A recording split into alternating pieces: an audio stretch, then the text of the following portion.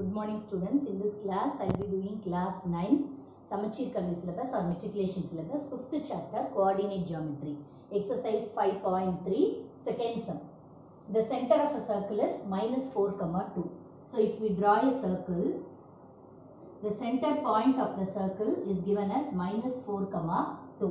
If one end of the diameter, so we have diameter for the circle, one end of the diameter of a circle is minus 3 comma 7. So one end of the diameter is minus 3 comma 7. Then find the other end.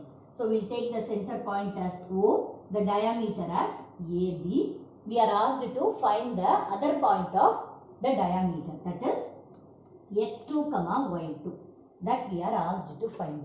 We know that the radius of the circle is equal. So OA is equal to OB. The length of the OB will be equal. So using distance formula, mm, sorry, using midpoint formula, we can find, we can equate this uh, minus 4 comma 2 to that one. Okay.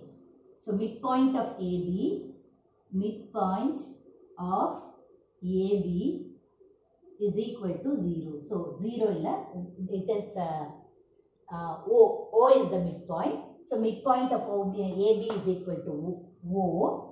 So midpoint formula is x1 plus x2 by 2 comma y1 plus y2 by 2. O is minus 4 comma 2. The point for O is minus 4 comma 2. So now we are going to equate this to minus 4 comma 2. Okay. So x1 is minus 3 plus x2 we don't know. That only we are asked to find by 2 comma y1 is 7 plus y2 by 2 is equal to minus 4 comma 2. So now we'll be equating x coordinate with minus 4 and y with 2. So minus 3 plus x2 by 2 is equal to minus 4 and 7 plus y2 by 2 is equal to 2. Okay. So minus 3 plus x2 is equal to minus 8. So x2 is equal to minus 8 plus 3. So x2 is minus 5. Okay. Then y2 is the same way. y plus, sorry, 7 plus y2 is equal to 4. y2 is equal to 4 minus 7. So y2 is equal to minus 3.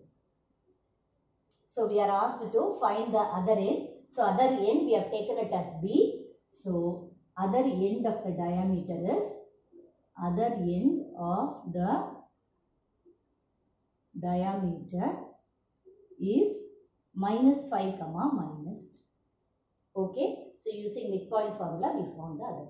Okay.